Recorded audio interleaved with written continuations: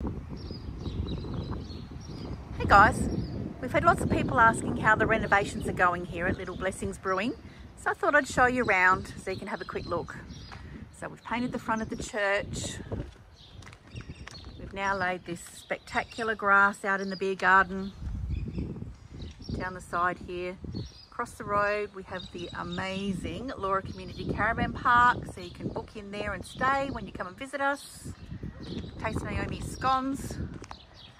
Around here is the rest of the beer garden on our luscious grass. Goes all the way back there. Those poles there will have festoon lights on, on them to the church. We'll have chairs and umbrellas and tables and everything out here. Now I'll just show you, take you through the new door, show you what's happening in here today.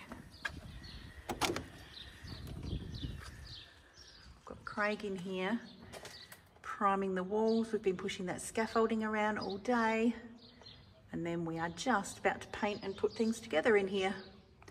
Hopefully we'll see you all in here soon enjoying a beer.